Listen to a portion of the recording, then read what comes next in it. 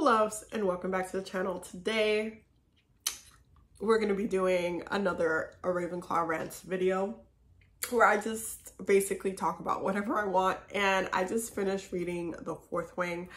Um listening to the audiobook actually but it's the same it's the same thing it's the same it's the same thing. Uh and so we're to talk about it. There's to be like a little mini review on the book. If this book went viral on TikTok, um, everybody's been recommending it on BookTok. Um, it is a new adult fantasy. Uh, and it also is a romance. It definitely has romance in there. It's a spicy romance too.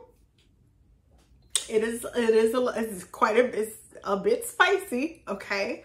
Um, I don't know if I would call it full on smut, but it's pretty spicy. Um, and it has dragons. It has, oh my God. The, first of all, the dragons are really cool. The relationship, also the, the abilities, um, how the characters get their powers. Like it's, it kind of surprised me because I mean, I, I kind of just went into it like, okay, it's really popular, but let me just see where it takes me.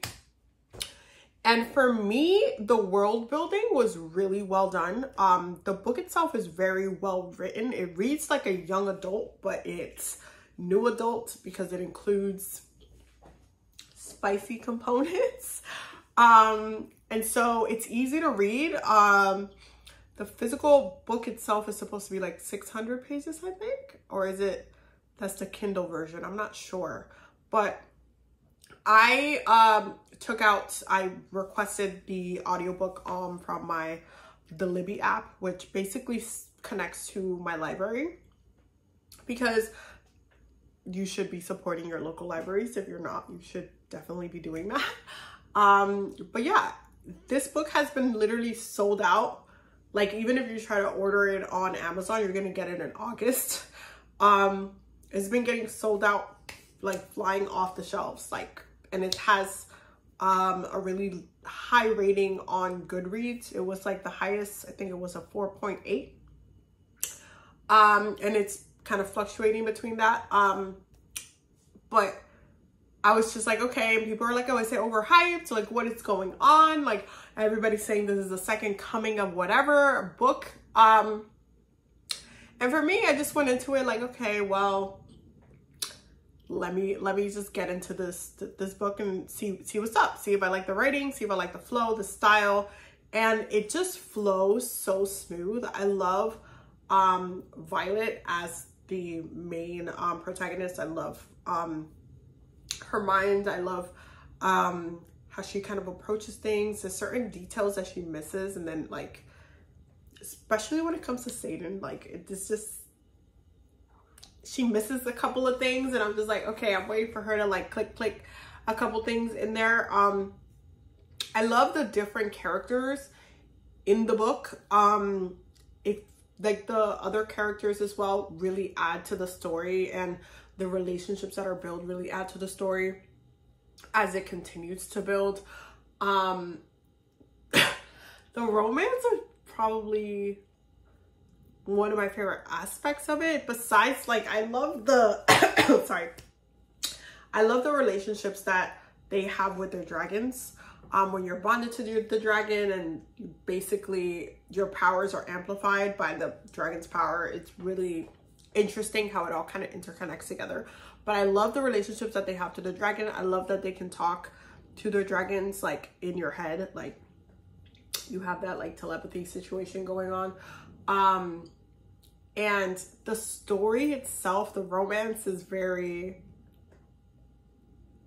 it, it was, I was just kind of letting it get me by surprise. And it was just so funny to me how there was multiple, multiple scenes of like this building of up, up into this relationship of, it is an enemies to lovers story.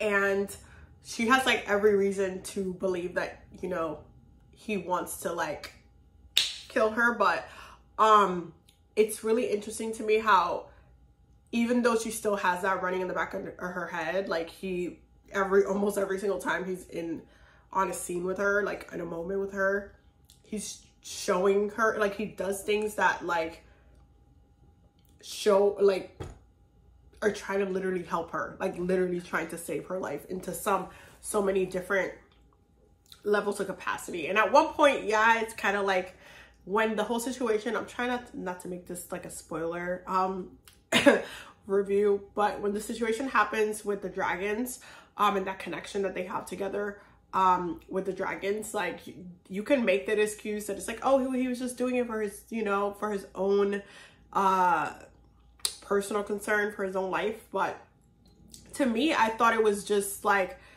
it just adds to the longness of things that he's been doing to really help her and keep her alive.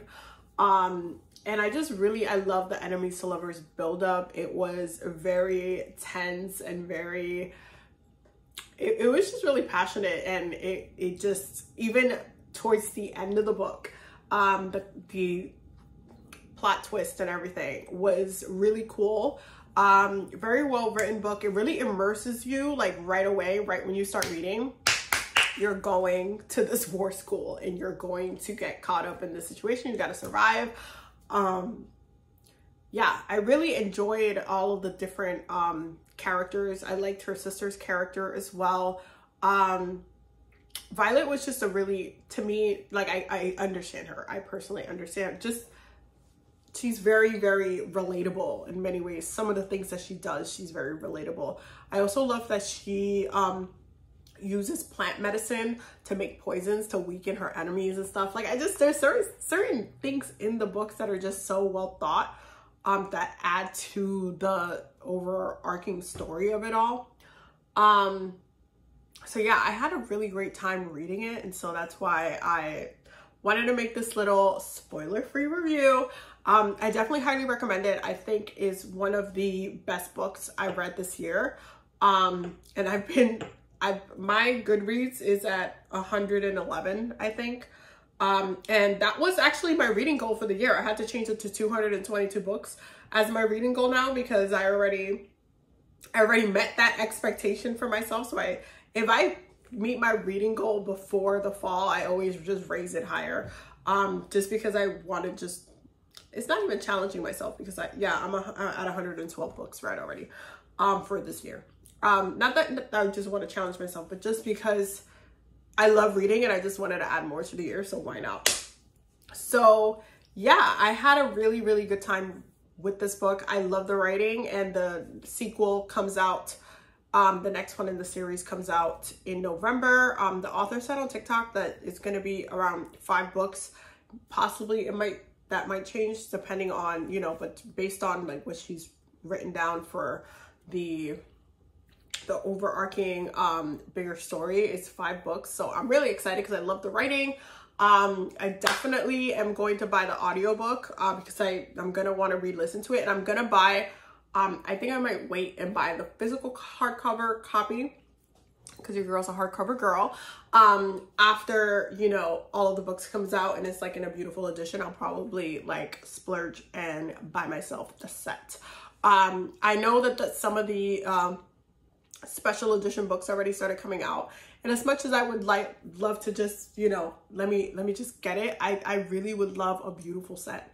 Um, I'd rather have that in my library, so I think I'm gonna wait. Um, but yeah, highly recommend if you haven't read it, um, highly recommend. It's definitely a really fun, fun series.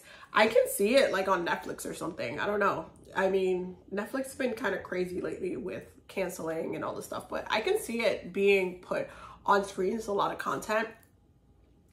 So I don't know. We'll see where it goes, but it's so, it's really good. It's a really good, it's one of the really better series that I've read in a really long time. Um, so yeah. Anyway, that was my review. I hope you guys enjoyed it. I love you guys so much and I will see y'all in the next video.